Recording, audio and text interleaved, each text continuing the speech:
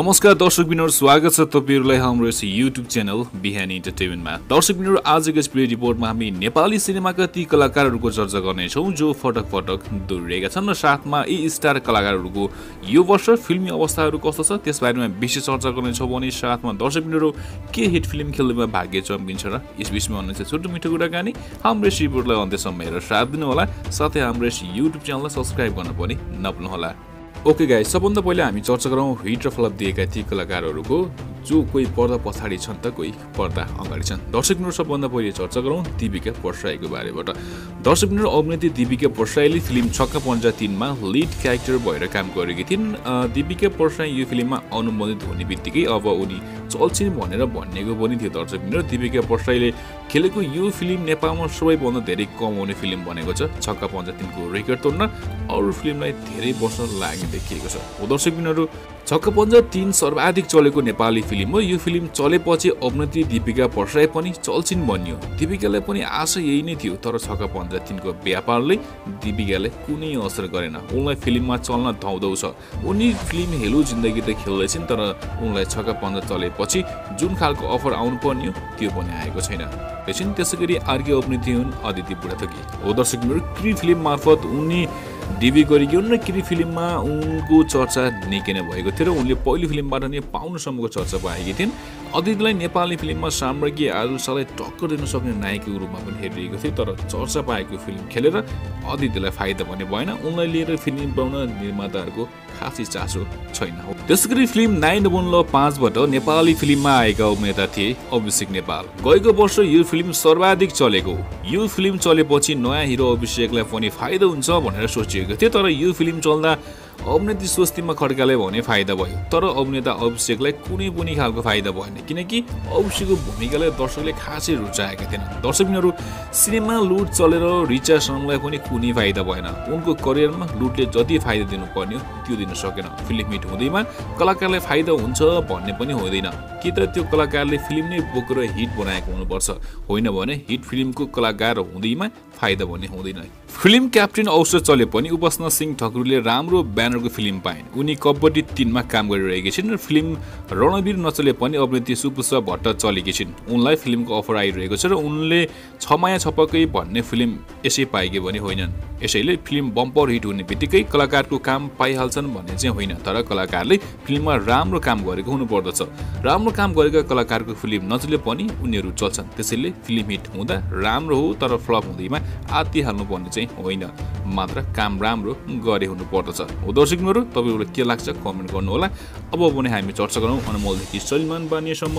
यी स्टारहरूको यो वर्ष फिल्मी अवस्था कस्तो छ त? आउनुहोस् चर्चा गरौँ। दर्शकहरू पछिल्लो वर्ष जस्तो यो वर्ष फिल्महरू बनिरहेको छैनन्। एकदमै कम मात्रामा फिल्महरू बनिरहेका छन्। फिल्महरू पोस्ट प्रोडक्सन र फर्ममा पनि थोरै मात्रामा गएका छन्। बरु धेरैजसो मेकर प्रि प्रोडक्सनमा गृह कार्य गरिरहेका छन्। यो साल दर्शकमास नआउने कुन कुन कलाकारहरू छन् त? आउनुहोस् जानु। दर्शकबिनहरू गत वर्षको तिहारमा मालिका रिलिज गरेकी रेखा थापा पनि यति बेला पर्ख र हेरेको अवस्थामा छिन्। फिल्मी बजार बुझ्दै गरेको बताउने रेखा सम्भवतः यो सालको अन्त्यमा फ्लोर पस्ने छिन्। रेखाले नयाँ सोच र नयाँ टिमसँग सहकार्य गरेर फिल्म बनाउने बुझिएको छ। त्यसै गरी दर्शकबिनहरू दुई वर्ष अगाडि कान्छे बनाएकी श्वेता खड्काले पनि नयाँ प्रोजेक्ट घोषणा गर्न सकिरहेकी छैनन्। माझी बस्ती निर्माणमा लागिरहेकी श्वेता व्यक्तिगत कार्यमा व्यस्त छिन्। सम्भवतः उनी यो सालको अन्त्यमा फिल्म निर्माणतिर लाग्नेछन्। स्वास्थ्यमा एक्कासी समस्या आएपछि श्वेताले हेलो जिन्दगी नामक फिल्म छायाङ्कन सुरु गरेर पनि छाडेकी छिन्।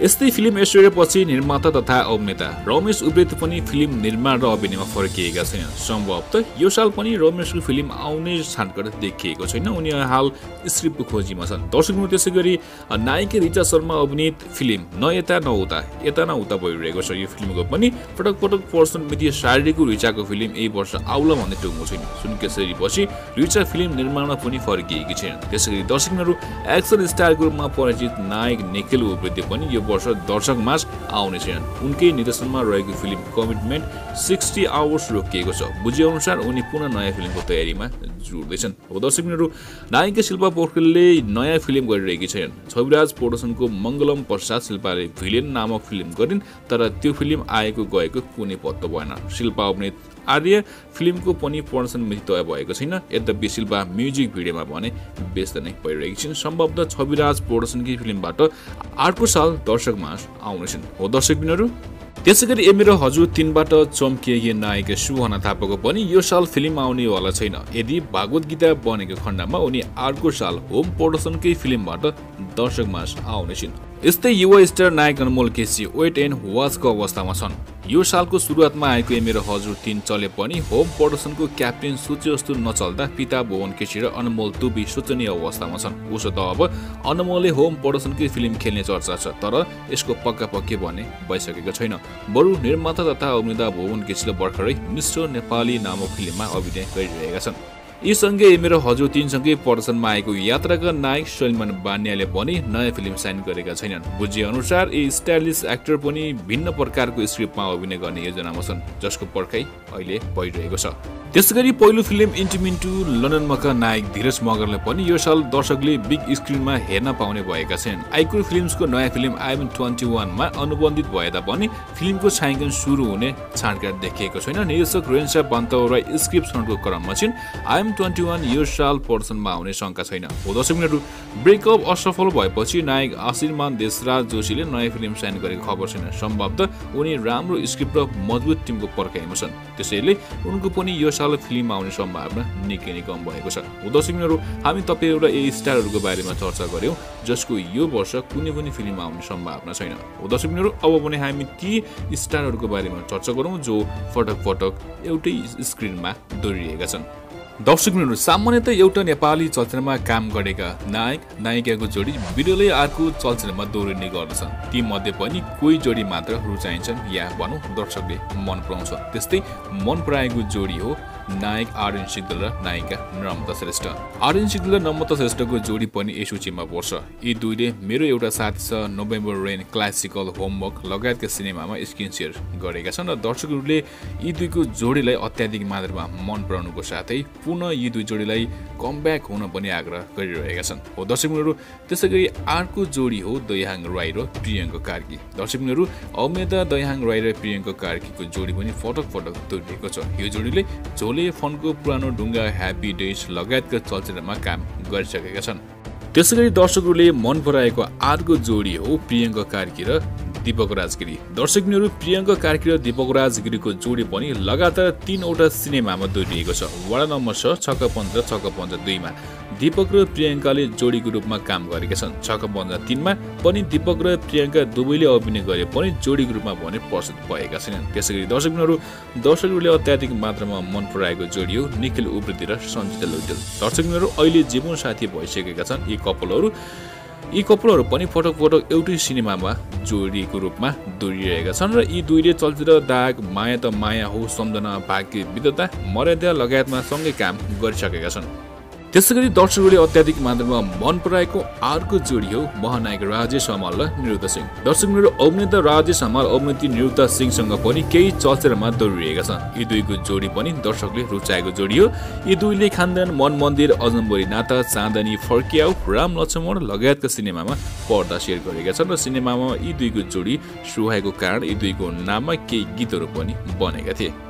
त्यसै गरी अल टाइम मन परेको जोडी हो राजेश हमाल र करिश्मा मानन्द दर्शकहरू एक समय नेपाली चलचित्र उद्योगमा अभिनेता राजेश हमाल र करिश्मा मानन्दलाई राख्यो भने चलचित्र चल्छ भन्ने छाप निर्माता तथा निर्देशकहरूमा परेको थियो। दर्शकले पनि यो जोडीलाई अत्यन्त रुचाउँथे। यही कारण हो यो जोडी केही चलचित्रमा दोहोरिन पुग्यो सँगसँगै काम गर्ने क्रममा यी दुई एकअर्काको नजिक भएको खबर पनि थियो तर त्यो हल्ला मात्र सीमित भयो। साथी एक नम्बरको पाखे किन किन वरदान जिन्दगानी चण्डाल यो ए यो माया हो। लगायत भारतका सिनेमामा यो जोडीले सँगै काम गरेका छन्। यसका साथसाथै यी दुईले केही म्युजिक भिडियोमा पनि स्क्रिन सेयर गरेका छन्। त्यसै गरी दर्शकहरू युवा पुस्तामा दर्शकहरूले अत्याधिक मात्रामा मन पराएको जोडी हो पल र आँचल शर्मा। दर्शकहरू नेपाली चलचित्र नाइन मूल्य चारबाट एकसाथ चलचित्रमा प्रवेश गरेको जोडी हो पल्सा र आँचल शर्माको।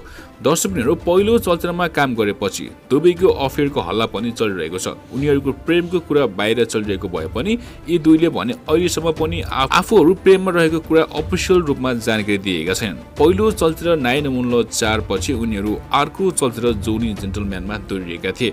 जोनी जेन्टलम्यानमा पनि दर्शकले यो जोडीले अत्याधिक मात्रामा रुचाएका थिए र यो चलचित्रमा सँगै काम गरेपछि दर्शकले उनीहरूलाई रियल जोडीको रूपमा हेर्न चाहेको प्रतिक्रिया पनि आइरहेको छ। उनीहरूको जोडीलाई दर्शकले चलचित्रसँगै म्युजिक भिडियोमा पनि रुचाएका छन्। त्यसै गरी जोनी जेन्टलम्यान पछि यो जोडी महसञ्चारको निर्माणमा बनेको चलचित्र शत्रु गतिमा पनि सँगै देखिए। शत्रु गतिमा तेर्सो पटक यो जोडीलाई दर्शकले अत्याधिक मात्रामा रुचाएका छन्।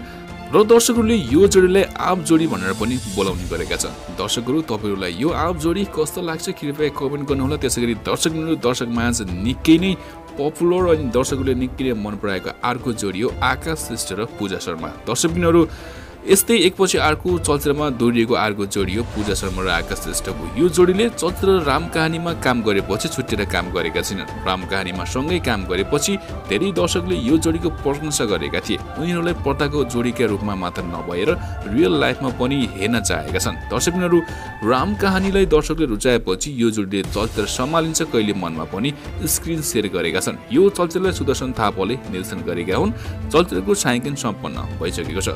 दर्शक त्यसपछि फेरि पनि यो जोडीले अर्को चलचित्रमा सँगै काम गर्ने अवसर पाएका छन् र अहिले छायाङ्कन भइरहेको चलचित्र पोइपोर्यो कालेमा पनि यो जोडीले सँगै काम गरिरहेका छन्। हो दर्शकबिनहरू पढ्न आँचल जस्तै यो जोडीलाई पनि दर्शकले अत्यन्तै रुचाएका छन् र यो दुई जोडी पछिल्लो समय एउटै चलचित्रमा धेरै पटक दोहोरिएको जोडी हो। यसपछि पनि केही सेलिब्रेटी जोडीहरू धेरै पटक दोहोरिएका छन्। तपाईँहरूलाई आकाश देश र पुरुष शर्माको यो जोडी कस्तो लाग्छ कृपया कमेन्ट गर्नुहोला। र भिडियो मन परेको खण्डमा लाइक सेयर कमेन्ट गरिदिनु होला साथै हाम्रो युट्युब च्यानललाई सब्सक्राइब गर्नुभएको छैन भने कृपया सब्सक्राइब पनि गर्न नभुल्नुहोला। तपाईँको दिन सुमङ्गल बितोष जय नेपाल।